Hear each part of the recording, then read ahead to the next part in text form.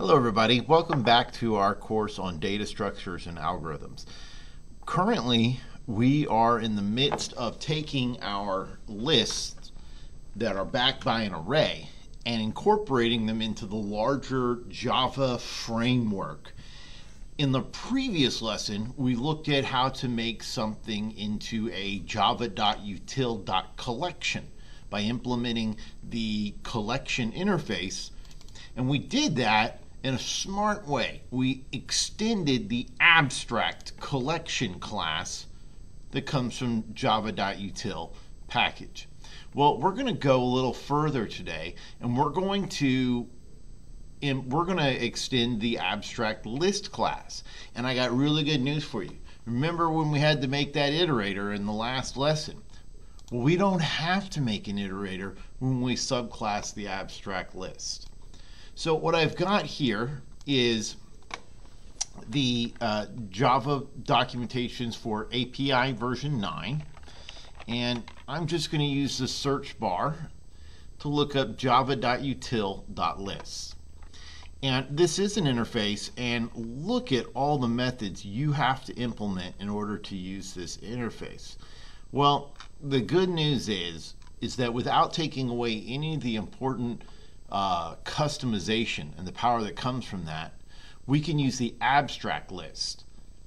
So if we click on the abstract list link, keep in mind that the uh, the array backing uh, structure, all the concrete kind of uh, nitty gritty of this class is, is, is left completely abstract. But since so many of the methods are just calling each other and doing things in you know back and forth, as long as we implement this ab the abstract methods properly, this should work really well. Okay, so what we're looking for is not just an unmodifiable list, but a modifiable list. So let's take a look what we got. We got to do get and size. Set at an int. So set at an index. Because if we don't do that, it just throws unsupported operation. We don't want that. We got to do add at an index and remove at an index. All right, this is really cool though. Look at this. Unlike the other abstract collection implementations, the programmer does not have to provide an iterator. So that is really cool. Iterator and list iterator. List iterator is super neat. So I'm excited about uh, getting to share that with you and not having to go through making it ourselves. Although you certainly can. If you go to my workbook at my webpage, you will see uh, some starter code to try and do a full implementation by yourself, which is certainly worthwhile. All right, well, let's get down to it. So I'm in my uh, package, that, my uh, project that we started last time, and I'm going to make a class, and I want to call this list array. And the reason why is because I want the class array list is already taken by Java, so I just reverse the names, and that's the one I want to use to try and view it and explore it. All right, so I want I want list array to handle generics, and I want it to extend abstract list. Now, uh, Java's not going to know what that is until we give it its full name, right?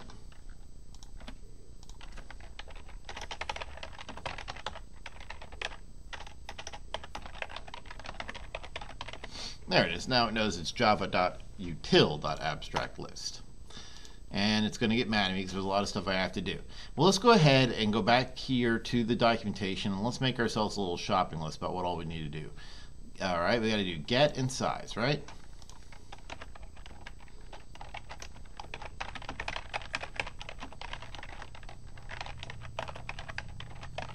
Get and size.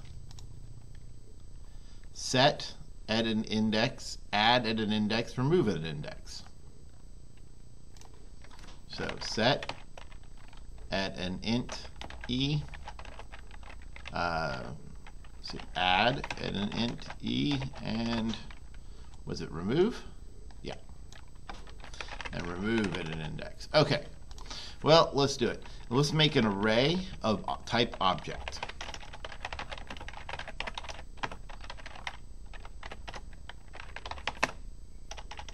All right, now what I'm going to do is I'm going to allow uh, two different ways of implementing this. I'm going to say, uh, or constructing this.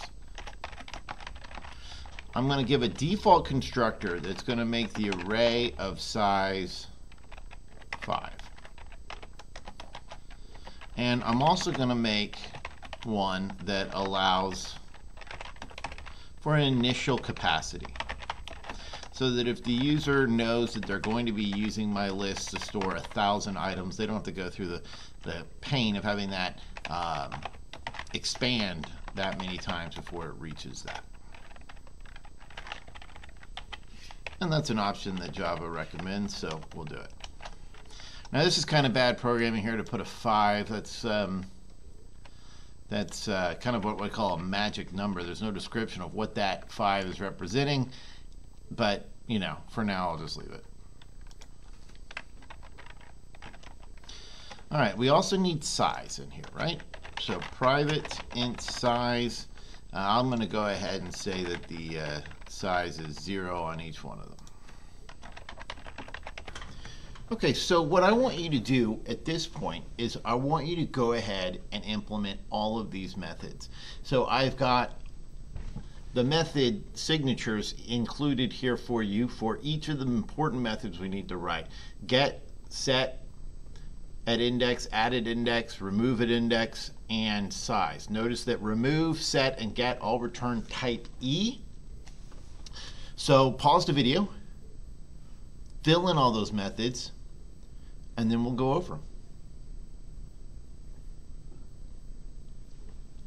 Okay, let's see how you did.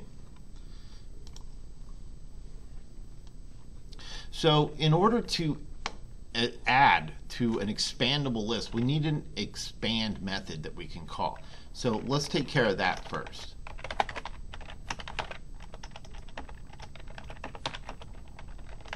So I'm going to make this array twice as big as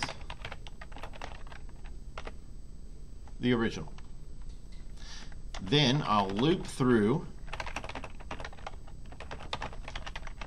the entire list and I'll copy everything over the temp from array.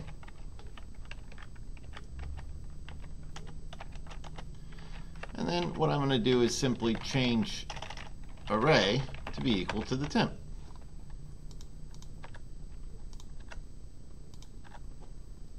There we go.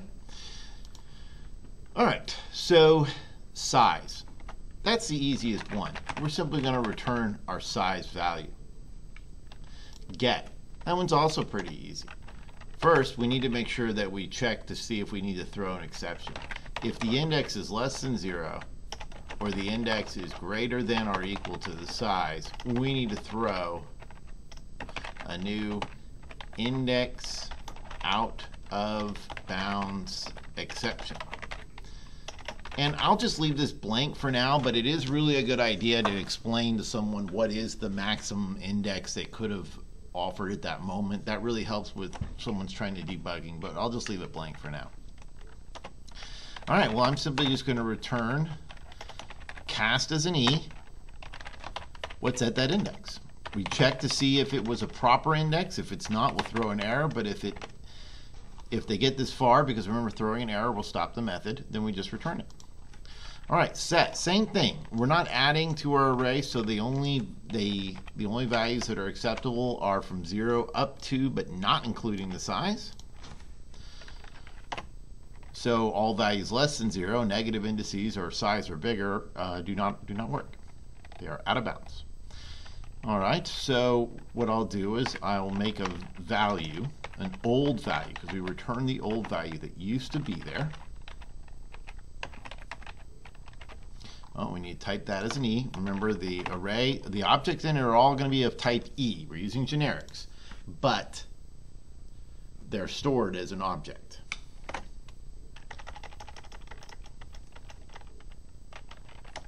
All right. Then I just simply write over that value.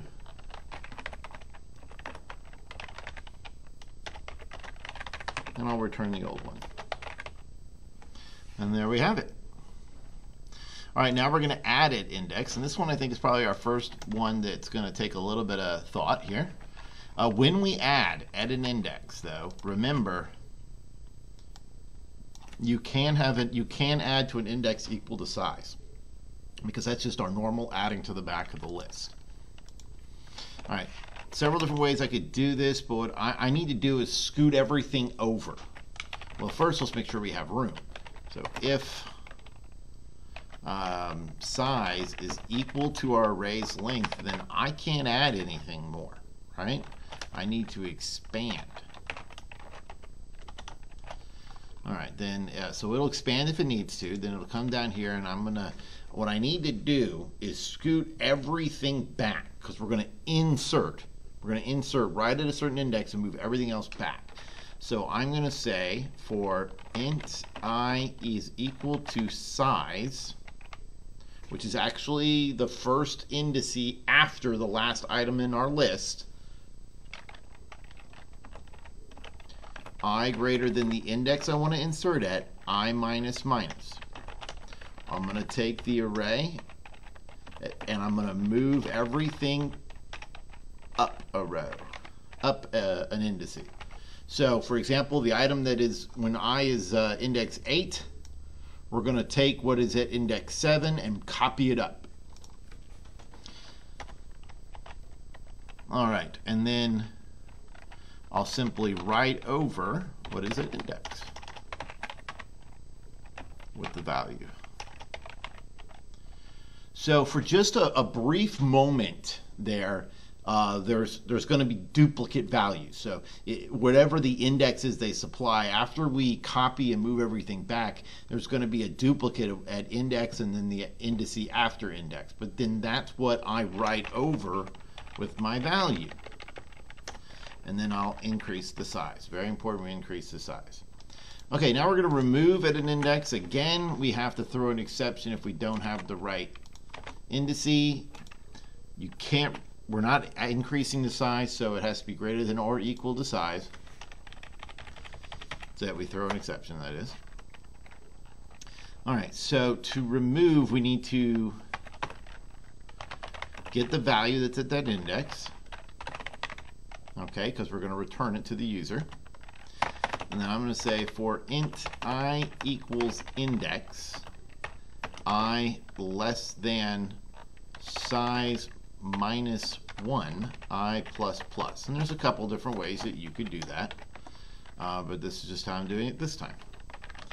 I'm going to say array bracket i is equal to array bracket i plus 1. And that's why I stop at size minus 1, okay? Because I'm going to be doing array plus one to get that last element of size. So for a little while here, there's, there's actually for a good long while, there's going to be a duplicate at the end of my list because I scooted everything forward. But the end of my array now has uh, what was the last item twice. But because we decrement size, our users won't have access to that indice. And then when we add to the back again, we'll write over it. And we've gone over that, right? Okay. So um, that's good. We need to return that old value though. Oh, you know what though? We do need to cast it. So make sure we cast it. All right, uh, let's see here. I think that's it. All right, great. Okay, so at my uh, web page, if you would simply click on List Viewer, and then you can download it or copy and paste that into your own class.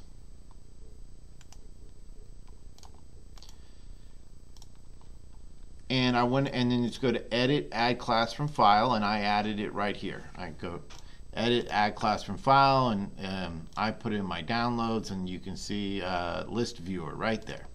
All right, now the list viewer is instantiating a class called list array. It is of type list. If you want to see this work, you can change this to java.util.arraylist. And it should work just fine because that's an implementation list, but not as fun because it's not our implementation. All right, let's run it. Okay, just like the collection viewer is, it's just a simple uh, little viewer to see what we've been putting in to see what it would be kind of like using our list. So I'm just going to add some um, words here. Plate, uh, you don't have to put quotes around them or anything like that. Uh, dish, cup, glass, fork, knife, spoon. All right, let's iterate our list. Oh, notice they asked for an index. Now, I know we didn't write an iterator, but we actually get two of them. We get a list iterator and a regular iterator. So I'm going to start my iterator at index 0. So that's one of the cool things about list iterators. You can start them at any index. Okay, there's our plate, dish, cup, glass, fork, knife, spoon. And you can see the little bar there representing the uh, little pipe is representing our indice and as I go forward. But look at this. I can also go backwards. And it turns out that when I remove, I can remove whatever I last returned. So for example, if I say, you know, next, previous, next, previous, next, previous, it will be the same thing over and over again. But um, let's see here. Let me go back to the beginning. If I go over to, let's press next one more time, and cup is returned, then the remove should remove cup. Now, if I say remove again, I'm getting that illegal state exception getting a legal state exception because I didn't make a call the next or previous. Okay, so there's glass. I can remove it. But if I say previous, the then dish should be the one that's removed. So it's pretty neat, huh? Uh, now we have, of course, we have our has next, but we also have our has previous. So from the, front of the list, I have next. I don't have previous, so I can't I can't go previous without getting an exception. So we can uh, we can add more, some more stuff to list. I'll just add some letters. Uh, they don't really show up again though uh, in this implementation until we run the iterator again. I'll say this time we'll begin at index 2 and you can see it starts right there.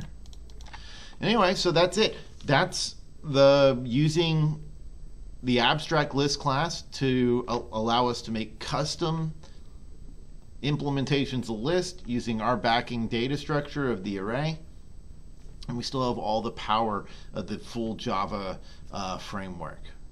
So um, that's going to pretty much sum up our discussion for making lists. Next up, we're going to look at how to sort and search arrays, and that'll finish off this first unit. See you next time.